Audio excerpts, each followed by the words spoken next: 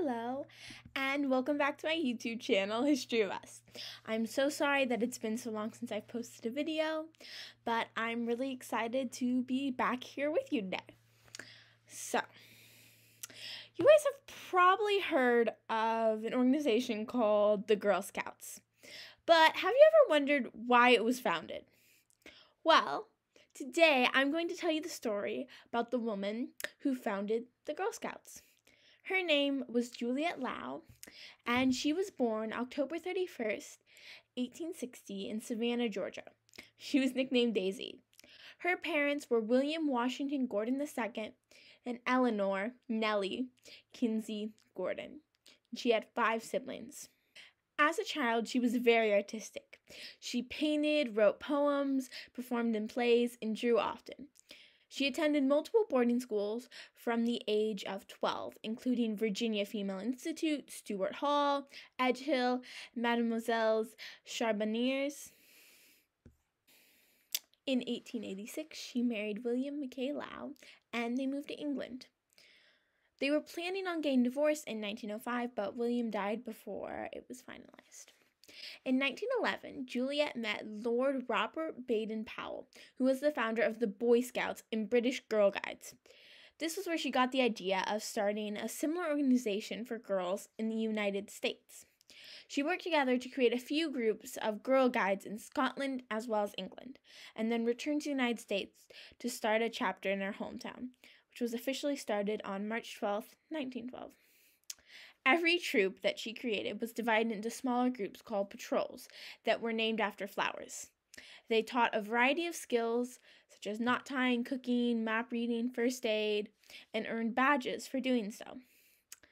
In 1913, the organization spread to other states, meaning that they had to have a national headquarters in Washington, D.C they changed their name to the Girl Scouts and published How Girls Can Help Their Country, which was adapted from the British How Girls Can Help B- to Build Up the Empire, and that book was for the Girl Guides that Lord Robert Baden Powell had started. And in 1915, they officially changed their name to Girl Scouts of America. There's a couple funny stories that I've read about Julia Gordon Low that I found to be really interesting.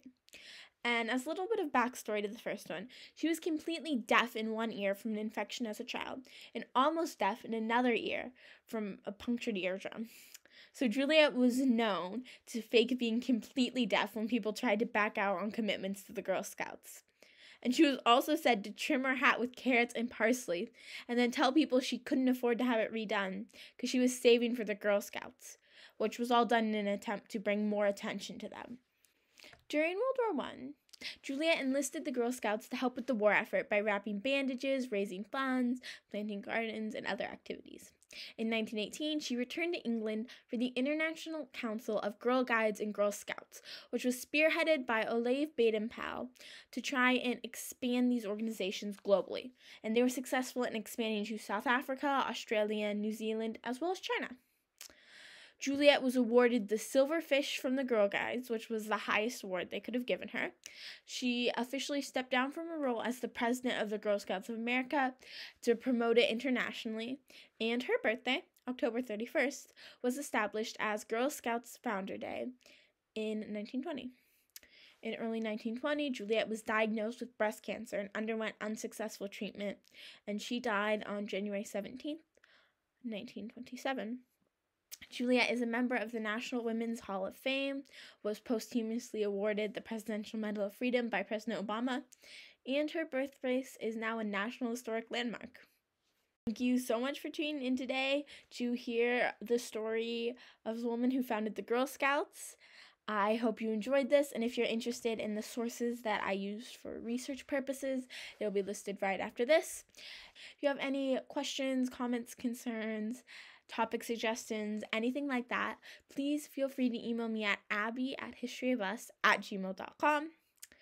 And you are also welcome to leave a comment on this video or submit a response to the topic suggestions form that is linked in the description of this video.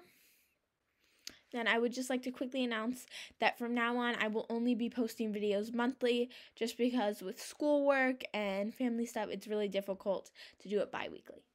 Thanks again and have a wonderful day.